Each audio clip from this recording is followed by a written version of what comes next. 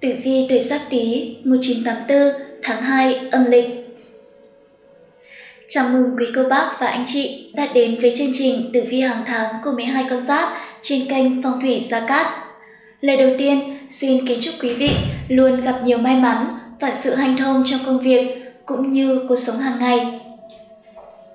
Quý vị thân mến, trong số 12 con giáp thì tuổi Tý đứng vị trí đầu tiên nên đây cũng được coi là con vật tiên phong luôn dẫn đầu. Bởi vậy những người tuổi Tý thường có tài lãnh đạo và quản lý rất tốt. Hơn nữa, họ còn được trời phú cho sự thông minh đáng ngưỡng mộ. Mọi người đều phải trầm trồ về sự sáng tạo nhanh nhẹn và tháo vát.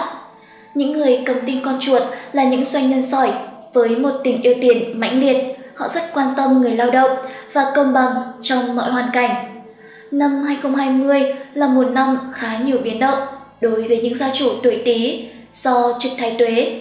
Vậy bước sang năm Tân Sửu 2021, vận trình của các gia chủ Giáp Tý có thuận lợi hay vẫn chắc trở? Quý vị và các bạn thân mến, ngày hôm nay kênh Phong thủy Gia Cát sẽ chia sẻ những kiến thức về tử vi của tuổi Giáp Tý trong tháng 2 âm lịch. Trong tháng này, các gia chủ Giáp Tý sẽ gặp những hung tinh, các tinh nào vận trình công danh, sự nghiệp, tài lộc, sức khỏe và tình duyên có được như ý. Cách hóa giải ra sao? Mời anh chị và các bạn hãy cùng theo dõi. Đặc biệt trong tháng này, thầy Gia Cát sẽ nhận tư vấn hoàn toàn miễn phí tại văn phòng công ty phong thủy Lộc Tài về các vấn đề như tử vi, phong thủy, mua mã âm trạch, xây nhà, sửa nhà, cưới hỏi. Để có thể được tư vấn miễn phí, quý anh chị hãy liên hệ đặt lịch theo số điện thoại đang được hiển thị trên màn hình. Mời anh chị và các bạn hãy cùng theo dõi video.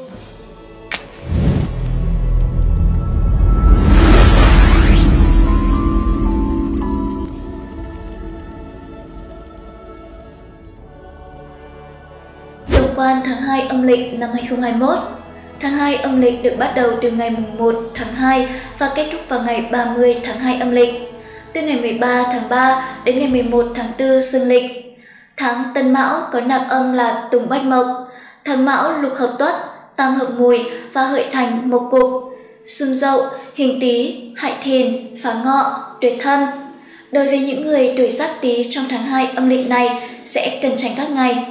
Thứ nhất là ngày âm lịch 11 tháng 2, từ ngày 23 tháng 3 dương lịch có nạp giáp là canh ngọ.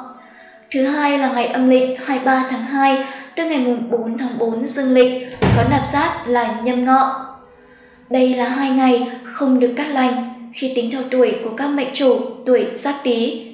Trong những ngày này, mệnh chủ cần phải hết sức chú ý. Tốt nhất, không nên thực hiện những công việc quan trọng. Lời khuyên từ những chuyên gia phong thủy cho bản mệnh là nên chú ý tới sức khỏe nhiều hơn, tiêu tiền vào những việc cần thiết không nên vung tay quá chán. Đồng thời, để công việc thành công, may mắn, kích công danh tài lộc, tình duyên, các gia chủ nên sử dụng vật phẩm phong thủy, minh quang pháp bảo. Nếu mang vật phẩm bên mình sẽ hỗ trợ tốt cho sức khỏe của gia chủ, đồng thời sẽ hộ thân, tăng cường vận khí, giúp gia chủ đón tài lộc, nhận được nhiều may mắn cả trên con đường tình duyên và sự nghiệp. Ngoài ra, còn có các ngày tốt đối với người tuổi Sát Tý trong tháng 2 âm lịch năm Tân Sửu 2021. Thứ nhất là ngày âm lịch mùng 6 tháng 2 tới ngày 18 tháng 3 dương lịch có nạp giáp là Ất Sửu, có nạp âm là Hải Trung Kim. Thứ hai là ngày âm lịch 18 tháng 2 tới ngày 30 tháng 3 dương lịch có nạp giáp là Đinh Sửu, có nạp âm là Giản Hạ Thủy. Thứ ba là ngày âm lịch 30 tháng 2 tức ngày 11 tháng 4 dương lịch có nạp giáp là Kỳ Sửu, có nạp âm là Phích Lịch Hỏa.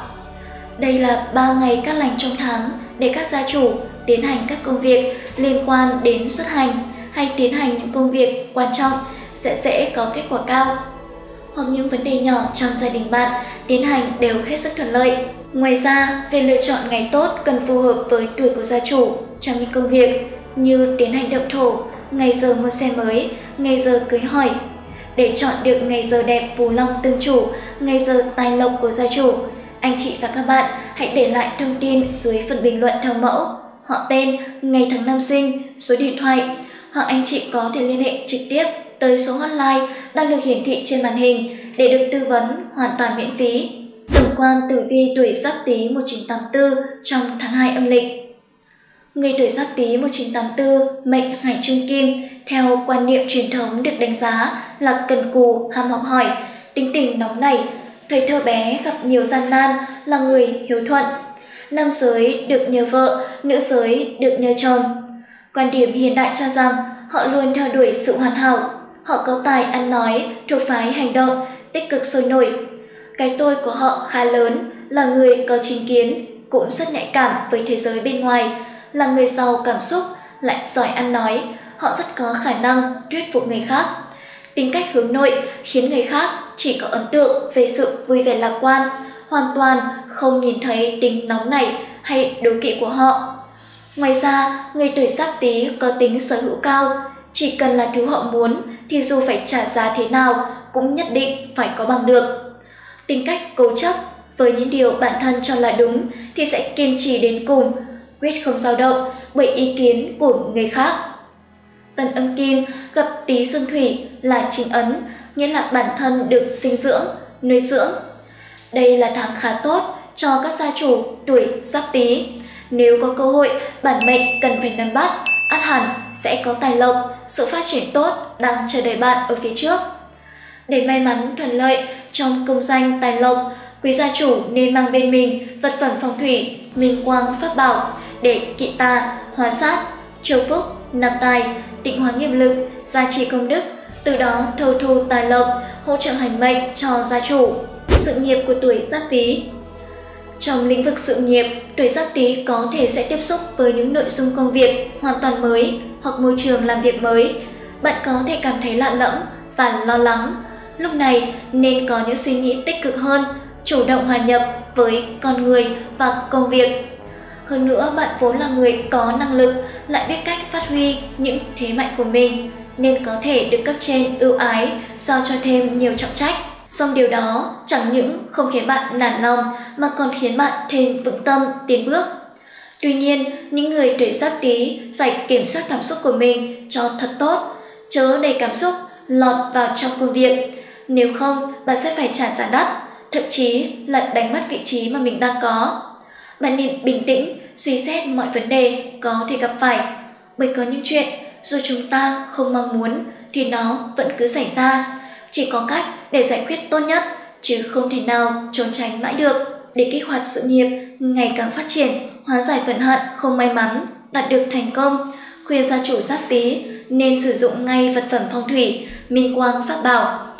Vật phẩm có tác dụng kỵ tà, hóa sát, chiêu phúc, nạp tài, tịnh hóa nghiệp lực, gia trì công đức, từ đó thâu thu tài lộc, hỗ trợ hành mệnh cho gia chủ. Đặc biệt, vật phẩm có giúp cho công việc làm ăn của gia chủ được hanh thông, thuận lợi, thành công trong sự nghiệp một cách vượt trội.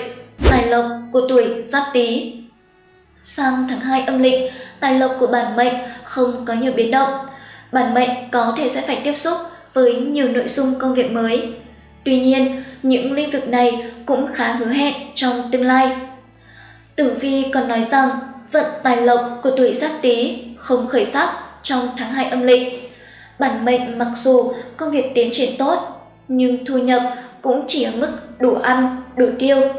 Người làm công ăn lương có thể sẽ có thêm những khoản thưởng nóng giúp bạn cải thiện phần nào cuộc sống của chính bản thân mình, nhưng vẫn cần phải chi tiêu tiết kiệm, khoa học để tránh việc mất mát tiền bạc và những việc không thực sự cần thiết. Người làm kinh doanh có thể thu được những khoản lợi nhỏ. Thời điểm này, chuyện làm ăn khó bề phất lên do nhiều yếu tố cả chủ quan và khách quan. Để may mắn thành công, các gia chủ giáp tý hãy mang bên mình pháp khí phong thủy, minh quang pháp bảo. Minh quang pháp bảo được coi là vật phẩm hoàn hảo, chứa đựng linh khí của trái đất, được hội tụ bởi những tinh hoa, Phật pháp cùng sự chất lọc những tinh túy, linh thiêng của đất trời, chứa nguồn năng lượng, xua tan được tà ma. Đây chính là những nghiên cứu được các thầy trong Hiệp hội Phong thủy Tâm linh Việt lồng ghép vào trong đó, tình cảm và gia đạo. Về phương diện tình cảm của người tuổi Sắp Tý, tháng này thật sự không khởi sắc. Với những người độc thân, mặc dù một vài mối nhân duyên sẽ đến với bạn, nhưng tất cả đều không thành do tính cách của bạn không hòa hợp được với đối phương Dù bạn là người cẩn trọng, tỉ mỉ nhưng lại không nhiệt huyết. Tuy vậy, bạn cũng không nên buồn chán hay có những suy nghĩ tiêu cực, chỉ là duyên chưa tới mà thôi.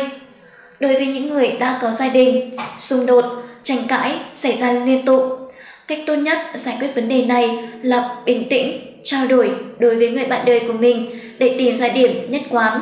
Tuyệt đối không áp quan điểm bảo thủ của mình khi có mâu thuẫn xảy ra. Để thành công và thuận lợi, những gia chủ tuổi giáp tý cần mang bên mình vật phẩm phong thủy hộ thân, tam giác khai vận của kênh phong thủy Gia Cát.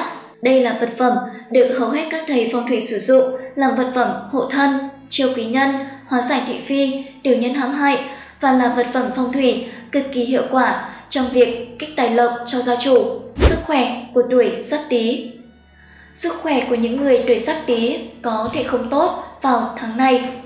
Sự nghiệp bận rộn sẽ khiến bạn lo lắng và dễ thức khuya, cộng thêm việc hút thuốc, uống rượu thường xuyên. Những điều này sẽ ảnh hưởng rất tệ cho sức khỏe của bạn. Bạn nên giữ thái độ tích cực, chuẩn bị đầy đủ và chờ đợi cơ hội.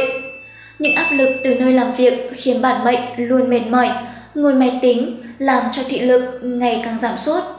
Kênh Phong thủy Gia Cát khuyên bạn nên thường xuyên thăm khám sức khỏe định kỳ để đảm bảo sức khỏe luôn ổn định. Đồng thời, bản mệnh hãy chăm tập thể dục, thể thao để duy trì thể trạng tốt nhất cho mình khi ăn uống nghỉ ngơi hợp lý để có sức khỏe lâu bền, có sức đề kháng tốt. Để tăng cường sức khỏe, những gia chủ giáp tý cần mang bên mình vật phẩm phong thủy hộ thân tam giác khai vận của kênh Phong thủy Gia Cát. Vòng tam giác khai vận được hầu hết các thầy phong thủy sử dụng làm vật phẩm hộ thân, chiêu quý nhân, hóa giải thị phi, tiểu nhân hãm hại và là vật phẩm phong thủy cực kỳ hiệu quả trong việc kích tài lộc cho gia chủ. Trên đây, chúng tôi đã trao đổi với anh chị về luận giải phần hạn tuổi Giáp Tý trong tháng 2 âm lịch. Khi mới khởi nghiệp, bản mệnh sẽ khó tránh khỏi những khó khăn nhưng lại được quý nhân nâng đỡ nên nhanh chóng giành được thành công. Hơn nữa, những người tuổi Giáp Tý vốn là người có tư chất, thông minh, thật thà lương thiện, tấm lòng bao la, hay giúp đỡ mọi người, thương người như thể thương thân, được nhiều người yêu quý. Cảm ơn quý anh chị đã luôn theo dõi video của chúng tôi. Cảm ơn mọi người thời gian vừa qua đã tin tưởng và đồng hành cùng kênh Phong thủy Gia Cát. Quý anh chị đừng ngần ngại bày tỏ những quan điểm và cảm xúc của mình ở phần dưới ô bình luận. Hãy đưa ra ý kiến đóng góp giúp chương trình ngày một hoàn thiện hơn để đưa đến quý vị và các bạn những kiến thức chuẩn chỉnh nhất về phong thủy. Để được hỗ trợ chi tiết hơn về vấn đề trạch cát, sử dụng phù hợp cho từng tuổi và những dự định công việc của quý anh chị thực hiện trong tháng hoặc tử vi 12 con giáp trong từng tháng, đặc biệt là của những gia chủ tuổi giáp tý trong tháng 2 âm lịch. Anh chị và các bạn hãy để lại thông tin dưới phần bình luận theo mẫu họ tên, ngày tháng năm sinh, số điện thoại hoặc có thể liên hệ trực tiếp tới số hotline đang được hiển thị trên màn hình để được tư vấn hoàn toàn miễn phí. Hẹn gặp lại anh chị và các bạn trong những video lần sau. Chúc mọi người thành công và thuận lợi trong cuộc sống.